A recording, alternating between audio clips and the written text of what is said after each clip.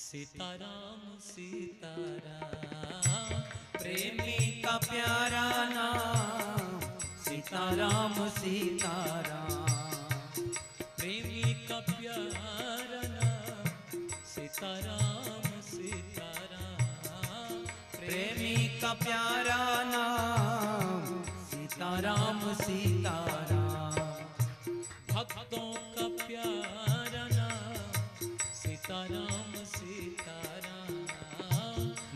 भक्तों का प्यारा नाम सीताराम सीताराम।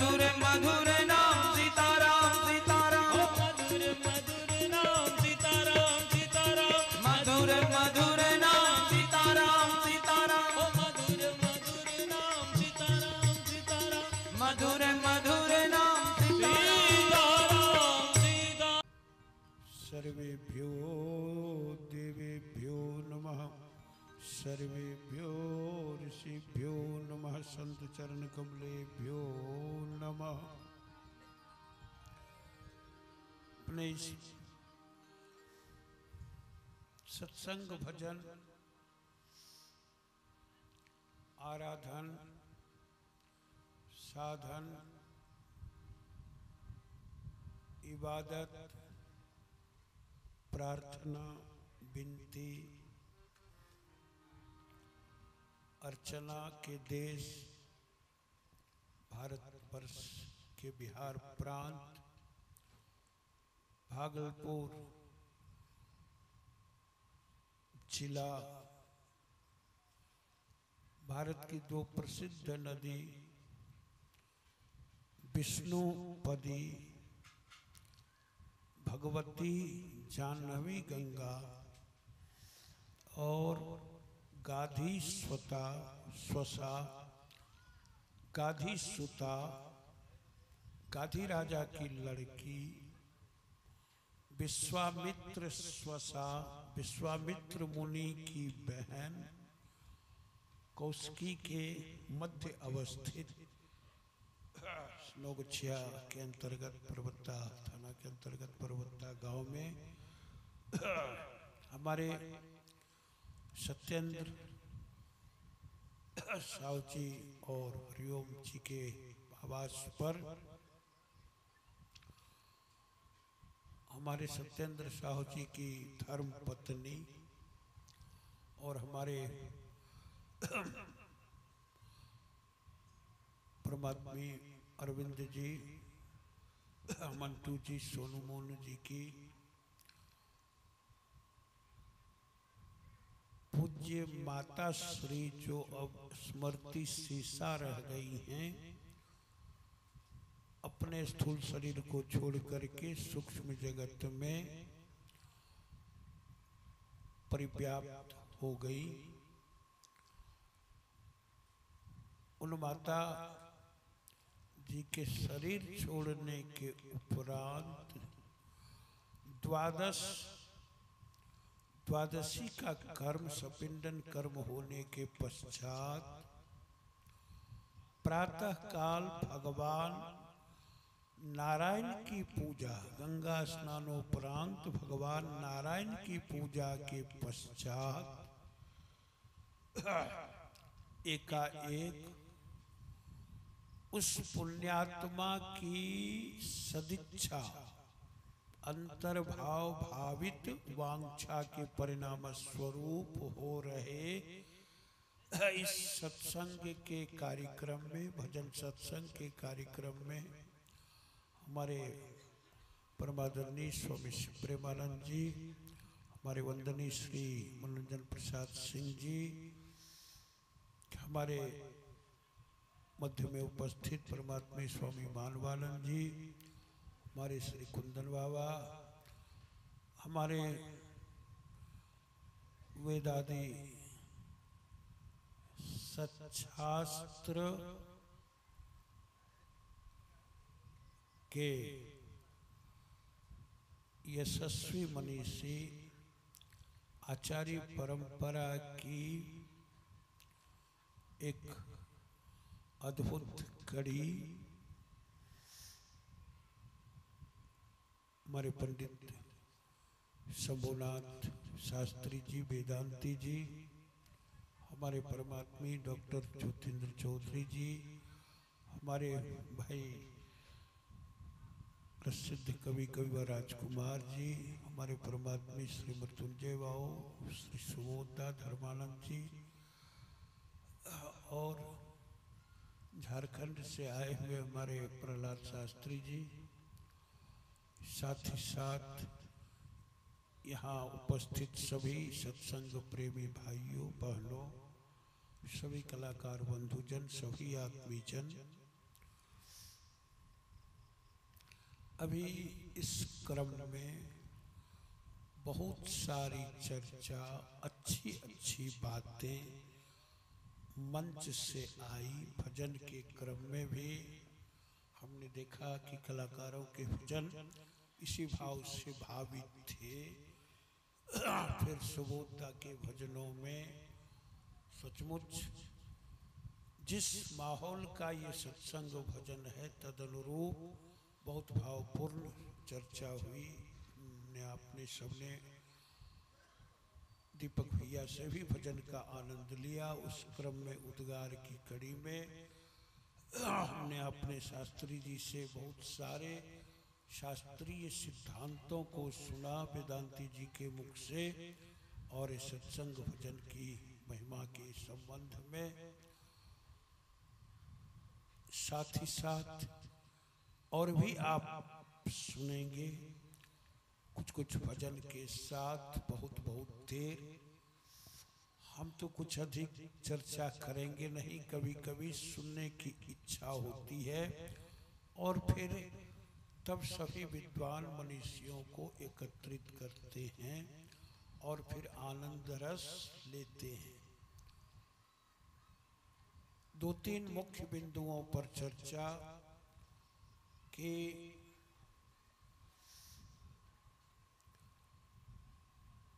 योग पीठ के तत्वावधान में योग पीठ से जुड़े हों, ना भी जुड़े हों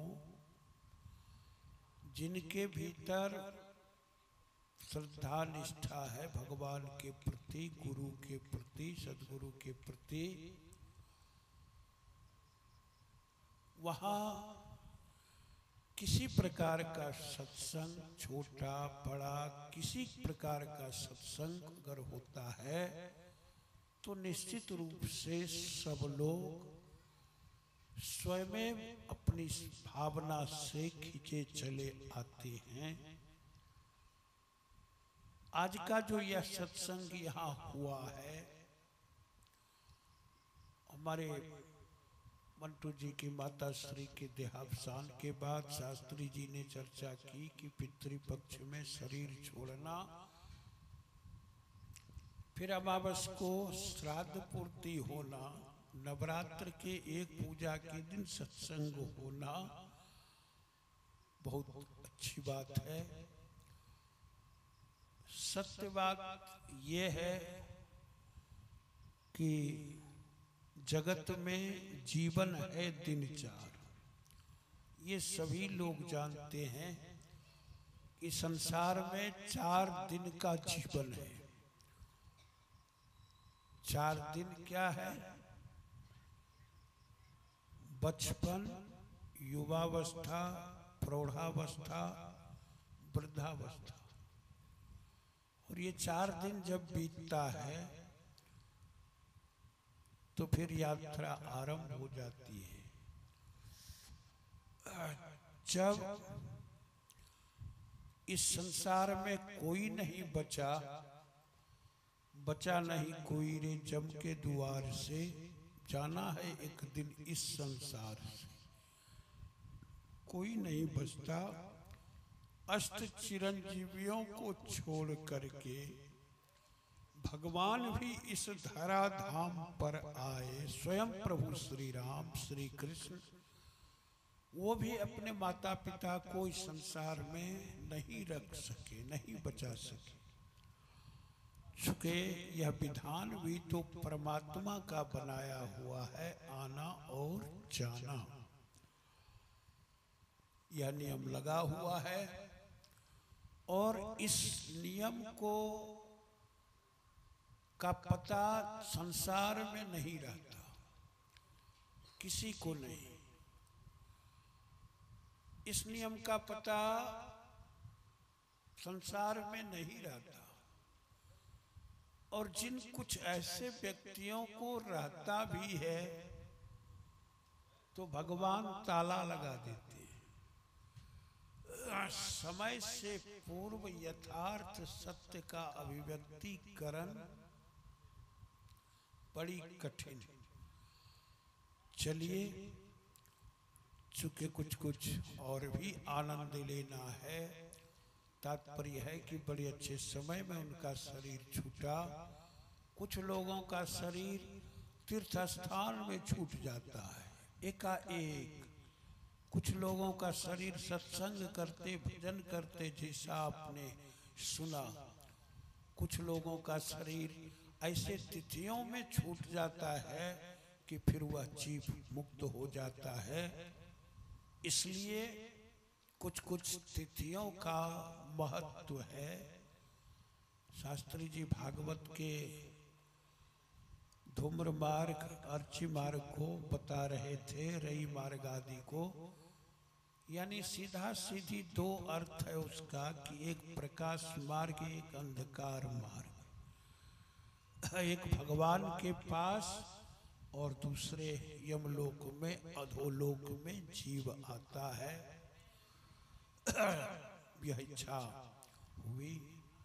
थोड़ी सी चर्चा उस आत्मा के संबंध में कर लें कि उन्होंने दीक्षा संत सदगुरु महर्षि में ही परमहंस जी की परंपरा में उन्होंने ली थी। सब लोग एक बार उन सदगुरु महाराज की जयकारा लगावें। संत सदगुरु महर्षि में ही परमहंस जी महाराज की जय। जब मुझसे अन्य भाइयों ने दीक्षा ली सबों ने तो माँ ने भी कहा कि गुरुजी हमको दीक्षा दे दीजिए। हमने उनको कहा कि आप जहाँ जो दीक्षा लिए हैं, सेवा पूजा कर रहे हैं, वो करते रहना है अच्छा है। भगवान का नाम, गुरु का नाम लेते रहना है। और निश्चित रूप से बेड़ा पार होगा उधार होगा, और हम भी सहारा देते रहेंगे। निश्चित रूप से नाम तो मैं विस्मृत कर रहा हूँ, बड़े ही सुप्रसिद्ध और अंतर्मुखी संत से दीक्षा उन्होंने ली थी। वैसे अब संत परंपरा में भी मत में भी बहुत सारे ऐसे लोग भी दीक्षा देने लगे जो आज्ञा चक्र की स्थिति से बहुत नीचे है। नाभि चक्र में भी ध्यान धारणा नहीं बनी, दीक्षा लोग प्रदान करने लगते हैं। और बिना सदादेश के निश्चित रूप से केंद्र से आदेश लेना चाहिए। जैसे हम लोग कदरा चक गए थे। क्या दादा? कदरा घाट। वहाँ मिले थे तो पता चल जाता है। चलिए, कोई भी खोज, रास्ता, मार्ग, गड़बड़ नहीं होता। कुछ ऐसी पीढ़ियाँ उसमें आती हैं कि कहा नहीं जाए। इन्हीं भावों से वाणी को मोड़ देते हुए हमारे संत सदगुरु हर्ष में ही परमहंस जी महाराज की वाणियों में भी आप हम देखेंगे पदावली में कि मेरी इच्छा हो रही है, उसके कुछ भाष्य तो विद्वानों ने संत जनों ने बनाए हैं। कुछ कुछ चीज़ों के भाव और भाष्य अभिनव रूप में प्रस्तुत करें। जैसे संत कबीर जी की एक वाणी है कि पाहन पूजे हरि मिले तो मैं पूजू पहाड़। इससे तो चक्की भली पीस खाए संसार। संत जनों की वाणियों का बड़े बड़े यूनिवर्सिटी के विद्वानों ने भी गड़बड़ अर्थ लगाया है। संत कबीर समग्र एक पुस्तक है, साखी सवद रमैनी बनारस के विद्वान प्रोफेसर के द्वारा संपादित है। नाम नहीं बताएँगे और उसमें भी वो उसी प्रकार का अर्थ है, सामान्य अर्थ। विद्वता चाहे जितनी ऊँची हो, जब तक अंतर्भूत साधना अंतर्गर्भ ना हो, तब तक ऋषियों संतों की वाणी को समझना बड़ी मुश्किल है। संत कबीर साहब ने सामान्य लोग अर्थ लगाते हैं कि पत्थर पूजला से कि भगवान मिलता हूँ। अब मिलती है तो हम पहाड़ की पूजा नहीं करती है। ओकरा अच्छा चक्की बढ़िया छै पीसी आदमी खाए छै। संत कबीर साहब ऐसा नहीं कहते, वो कहते हैं, चूँकि इस दोहे की चर्चा आज से पंद्रह वर्ष पूर्व जीबी कॉलेज में संत कबीर जयंती थी और उसमें यूनिवर्सिटी से विद्वान लोग आए थे, जिसमें हमारे गुरुदेव प्रोफेसर डॉक्टर राजेंद्र पंजियार जी भी थे।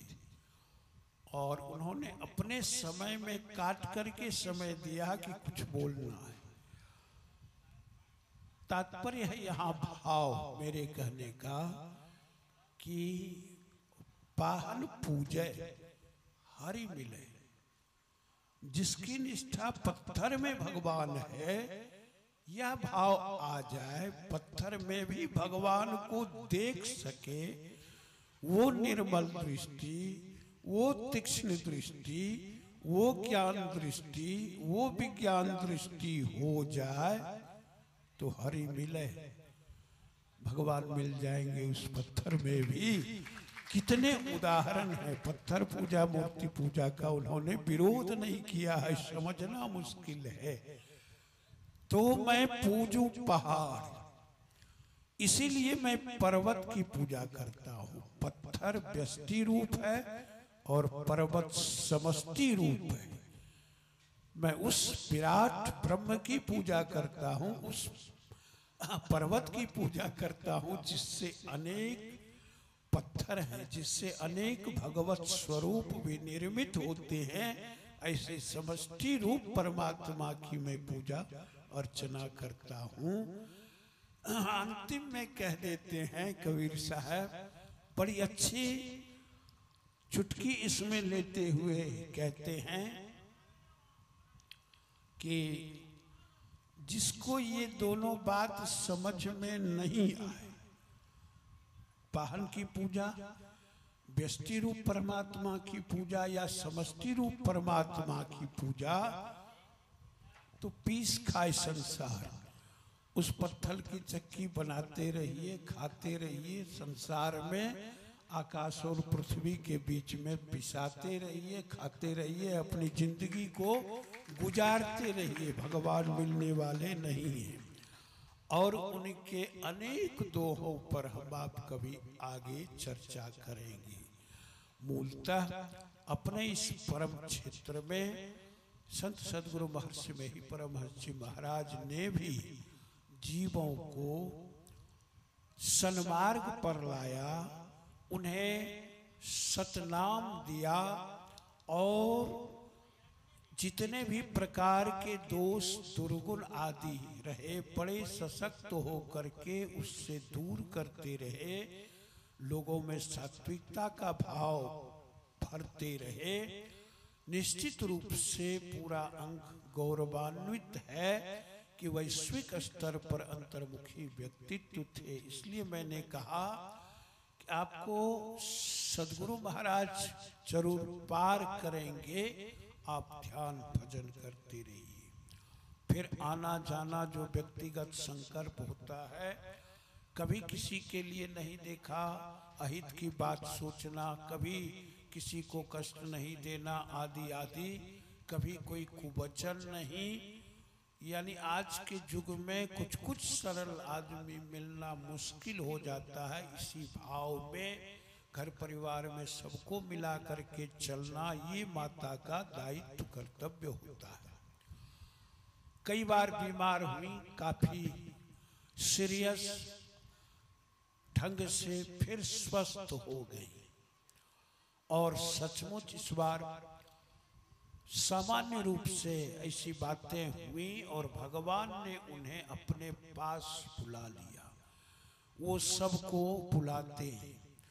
और यही विषय साधु संत का रहा है कि जीवों के आने जाने में शोक आदि भाव नहीं रखना चाहिए। ये तो संसार है, ममता है, स्वाभाविक है। लेकिन भगवान जिस चीज़ को भेजते हैं, वो अपने समय से बुलाते हैं।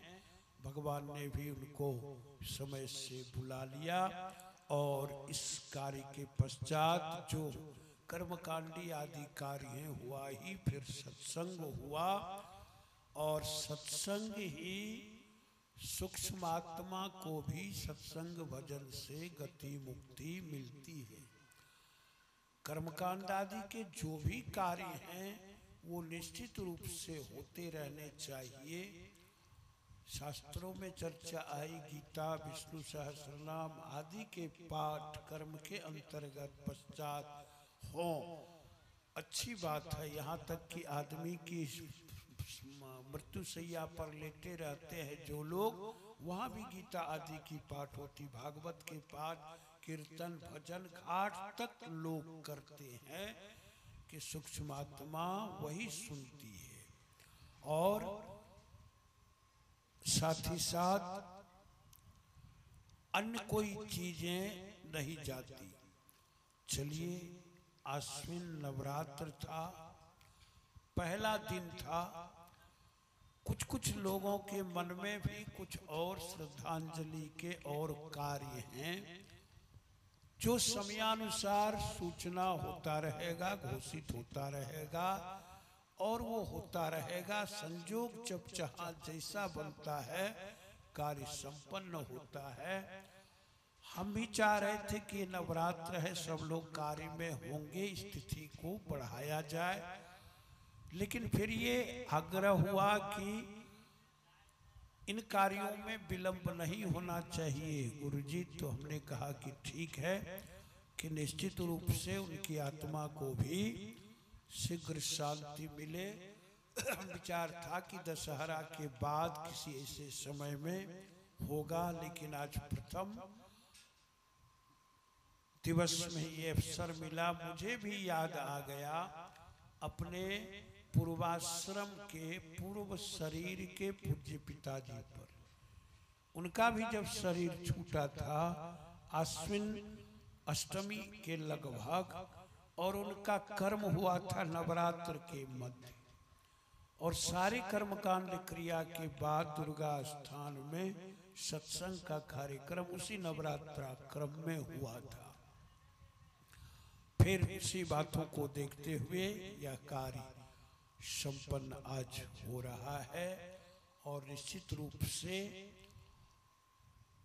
कार्य समय को देखते हुए यह अच्छा कार्य संपादित हुआ और बीच बीच में भी जब इच्छा हो, भावना हो, पूर्वजों के नाम पर स्मृति में एक बार, दो बार अन्य रूपों में भी लोग सत्संग वचन करा सकते हैं। हो सकता है पाँच ही आदमी बैठ करके कुछ कुछ लोग पुण्य तिथियों में जो अन्य प्रक्रियाएँ हैं वो हो लेकिन कुछ कुछ कार्य होते रहना चाहिए नवरात्र चल रहा है ये नवरात्र व्रत जो जहाँ जैसे जिस रूप में कर रहे हैं करते रहना है चाहे वो आप दोनों समय अरवा लेकर के करें फल से करें, जिस प्रकार से वर्तमान समय बड़ा विचित्र चल रहा है लोग निराहारो यताहारो तन मनस को समाहितो, उस रूप में भी रहते हैं, लेकिन जिस रूप में शरीर आदेश करे, और ये नवो दिन है, नवरात्रा का शरीर के नौ छिद्रों पर विजय प्राप्त करके दसम छिद्र, दसवा द्वार, ब्रह्म रंध्र सहस्रसार पर पहुँचना। उसमें स्थापित विराजमान, उसमें स्थापित विराजमान शरीर का वो बैकुंठ माना जाता है। वो गोलोक धाम है, वो साकेत धाम है। और सूक्ष्म चक्र वेदन के द्वारा नवो शरीर को पार करते हुए जीव यहाँ पहुँचता है। इस नवरात्रि में नौ का महत्व है। आप ना कुछ हो, भगवान का नाम जप करें, हनुमान चालीसा पाठ करें, कुछ भी सप्तशती पाठ, विष्णु सहस्रनाम गीता, जो कुछ भी हो, पारायण पाठ, जप इत्यादि, जितना सब पढ़े उतना ही करना चाहिए। इस समय को खाली नहीं जाने देना चाहिए। उपयोग साधन भजन में जीव को करते रहना चाहिए। यही मुख्य सार बात है। अब वाणी को विराम।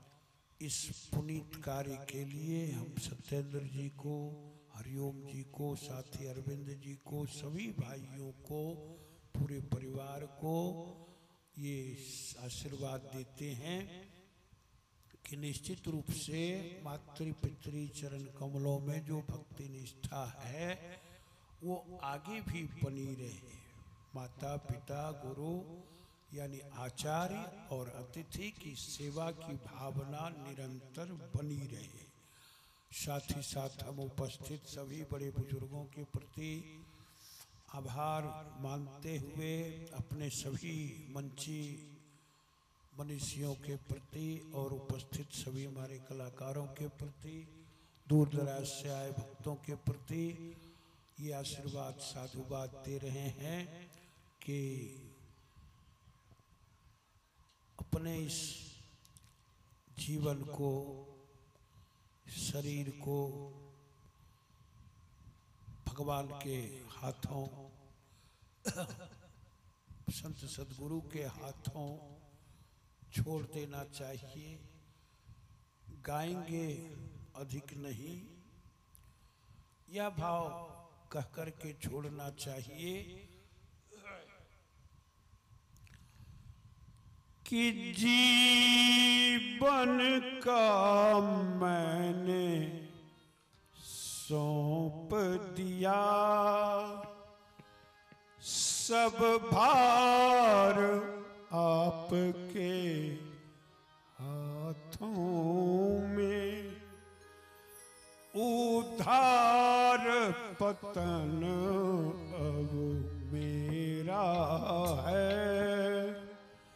सरकार आपके हाथों यही भाव रखना चाहिए।